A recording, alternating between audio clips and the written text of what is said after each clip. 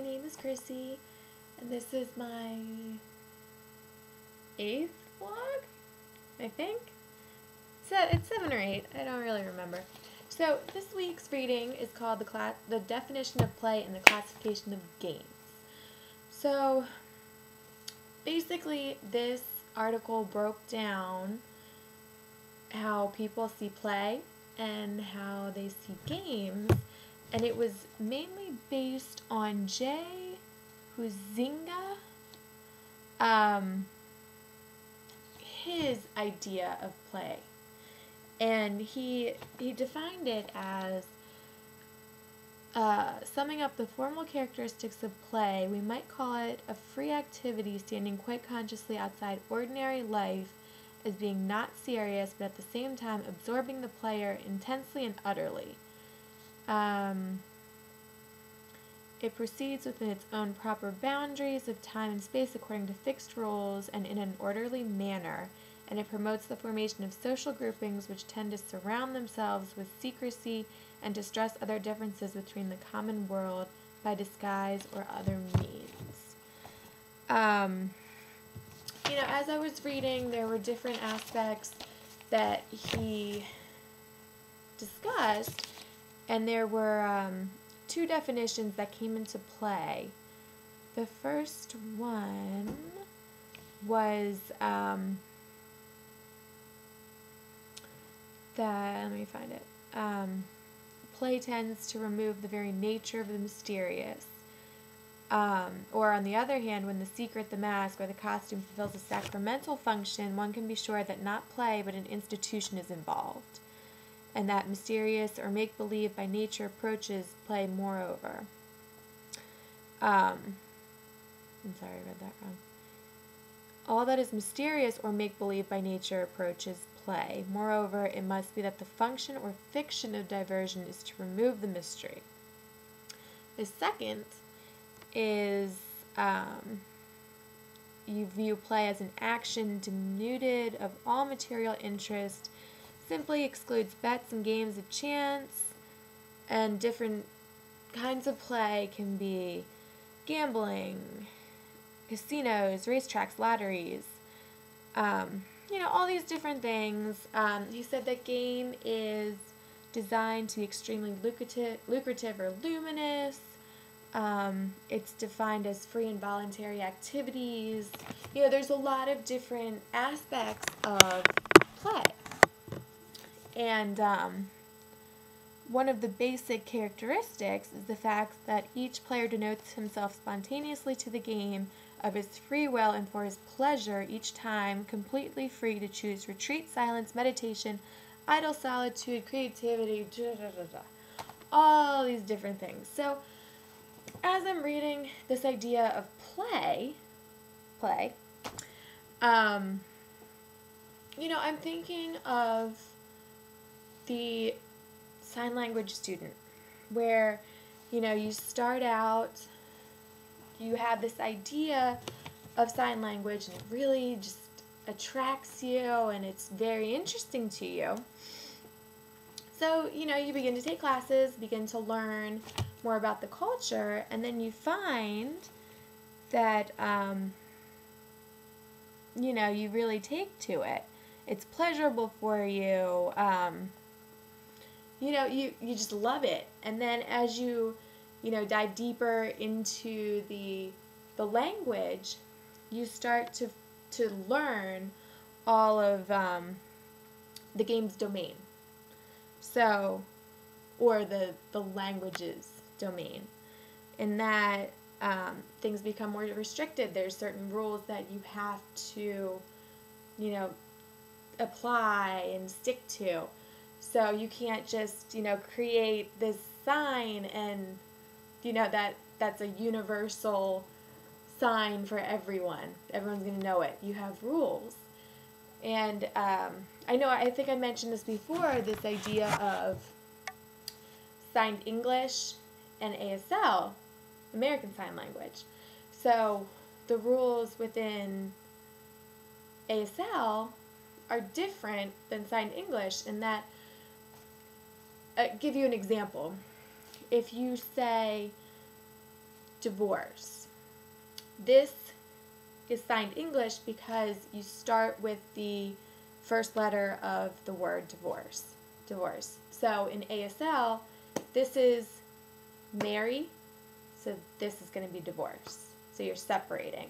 So one of the big rules is in ASL, anything initialized, any kind of sign like that is a no-no.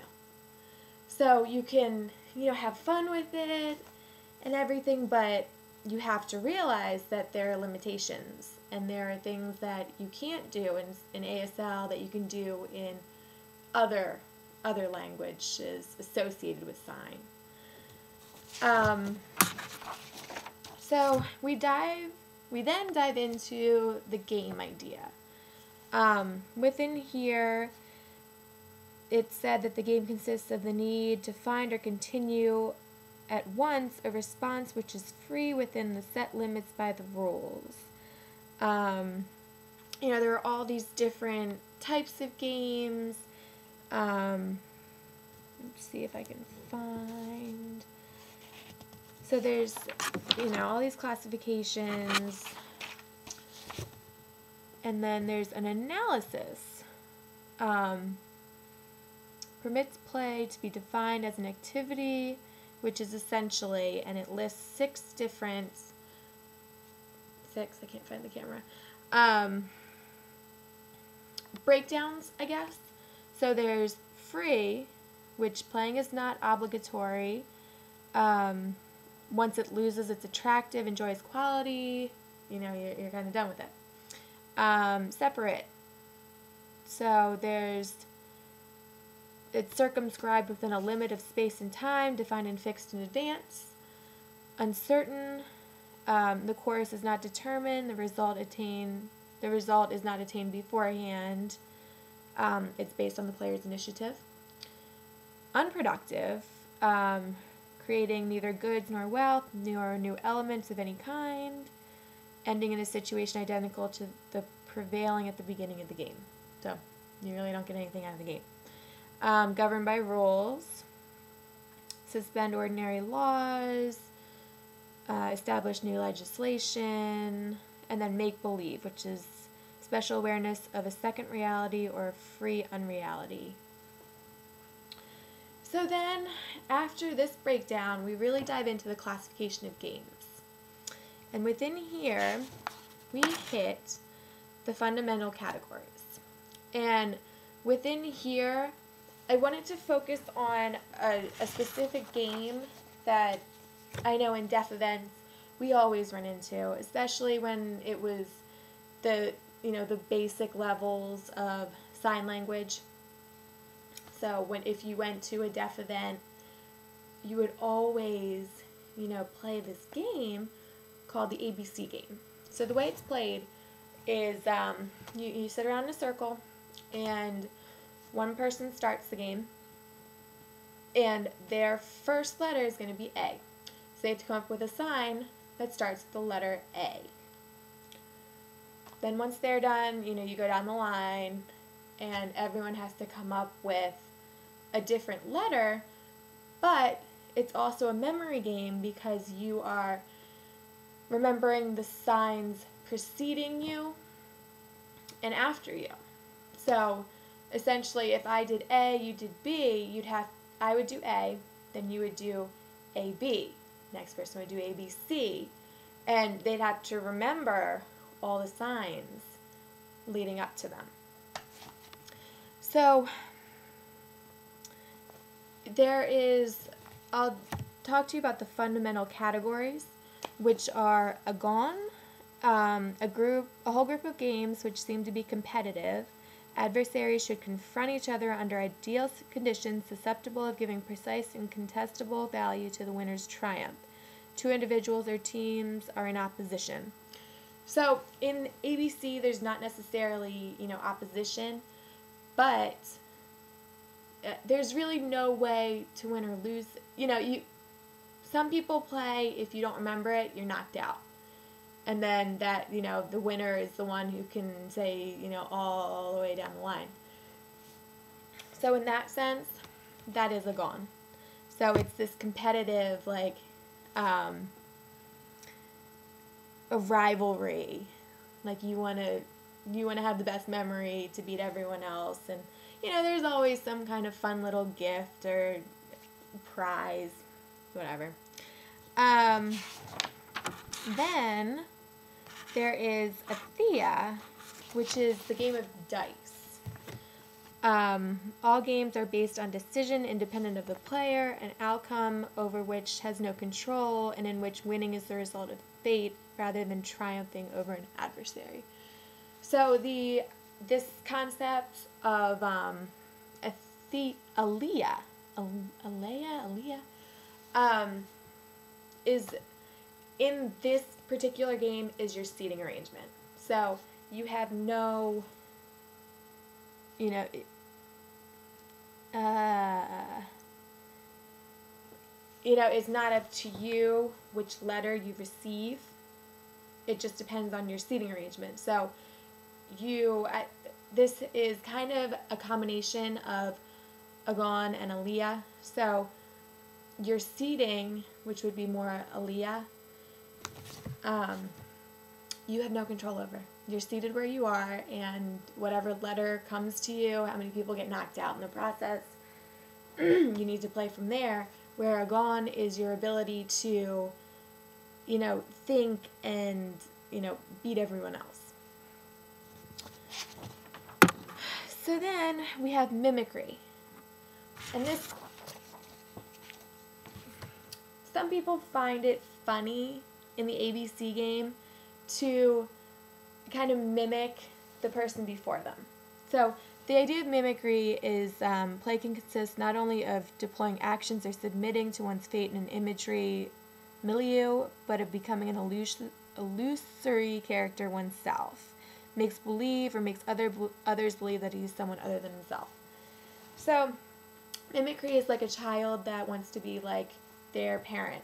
Like the uh, little girl is going to try to, you know, wash dishes, clean the house. It, kind of um, uh, traditional, for a good word, traditional stuff.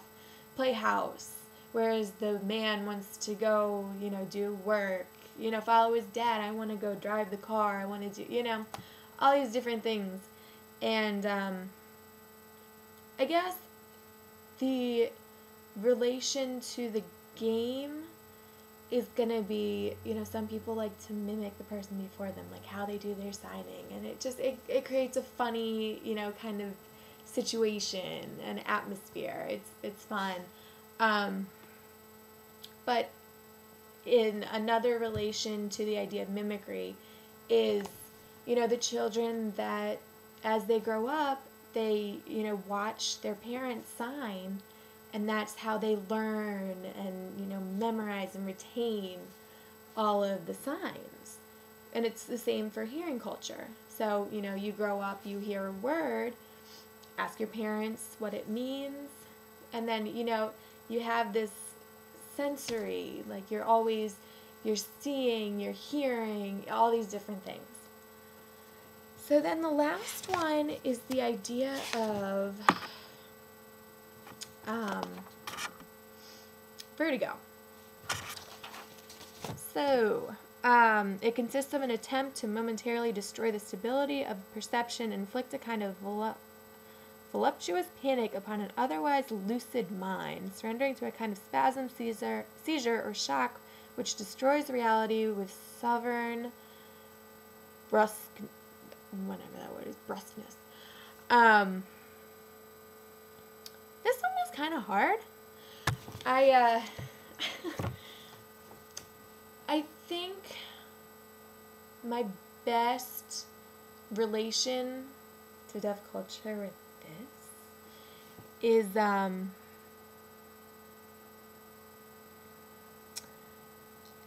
you know, maybe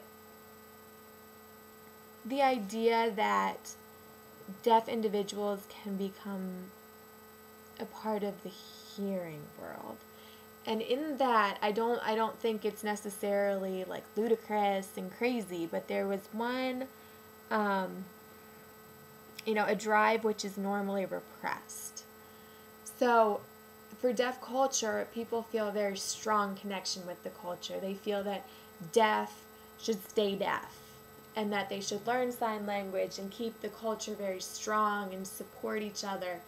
Um, so the idea that cochlear implants or hearing aids, you know, they're they're kind of like pushed to the side, like not necessary. And I think that would be the best idea of, of vertigo.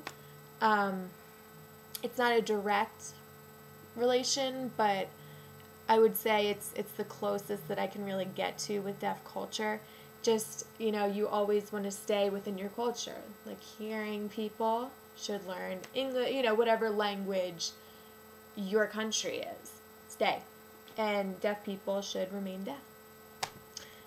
I will see you next week.